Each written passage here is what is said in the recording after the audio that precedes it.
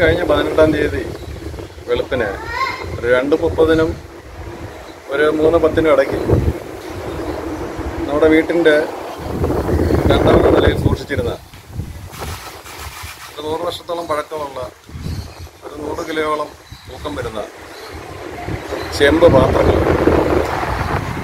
ഏകദേശം അതിന് വില പതിക്കാൻ പറ്റത്തില്ല. എന്നാലും ഒരു ലക്ഷം രൂപയോളം മേളിൽ വില വരുന്ന ഈ സാധനം മോഷണം നമ്മുടെ സി സി ടി ക്യാമറയിൽ നിന്നും ദൃശ്യങ്ങൾ പകർത്തുകയും ഇരവിവരം സി ഐ ഈ ദൃശ്യങ്ങൾ കാണിക്കുകയും ഈ മോഷണം പോയ പരാതി കൊടുക്കുകയും ചെയ്തു. എത്രയും പെട്ടെന്ന് പ്രതിയെ പിടിക്കണമെന്നും പ്രതിക്ക് നമുക്ക് ഒരു സൂചന കിട്ടിയെന്നും നമ്മുടെ വീട്ടിൽ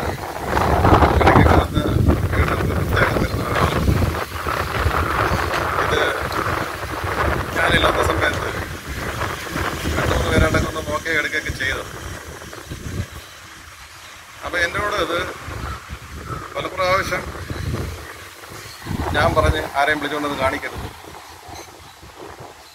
ഇയാൾ പല പ്രാവശ്യമായിട്ട് ഇത് നോട്ടമായിട്ട് വെച്ചിരുന്നത് അപ്പം ഞാൻ അയാളോ അയാളോട് പറഞ്ഞ് അയാളെ വീട്ടിൽ പോയിട്ട് പറഞ്ഞു ആ സാധനം എവിടെയെങ്കിലും കൊടുത്തെങ്കിൽ ഇനി മേടിച്ചതാ.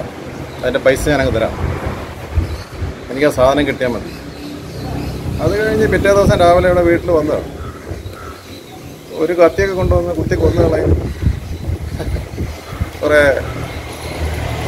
തീർത്തകളും എല്ലാം പറഞ്ഞ് പോയി. അപ്പോൾ മനസ്സിലായി തന്നെയാണ് ഈ സാധനം മോഷ്ടിച്ചത് അങ്ങനെ നമ്മൾ പോലീസിനോട് പല പ്രാവശ്യം പറഞ്ഞു. ഇത് താമസിക്കരുത്. താമസിച്ച ഈ സാധനം നമ്മുടെ ആക്രിക്കട വഴി ഇത് നമ്മുടെ കേരളത്തിനപ്പുറത്താകും.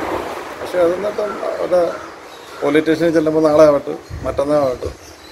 ഞാൻ നടന്ന് നടന്ന് ചെരുപ്പ് തേഞ്ഞു ഇതുവരെ ഒരു നടപടിയും ഈ നിമിഷം വരെ ഇതുവരെ നടപടി ഉണ്ടായിട്ടില്ല. ഇനി എന്തെങ്കിലും നടപടി ഉണ്ടാകുമെന്ന് പ്രതീക്ഷയുമില്ല.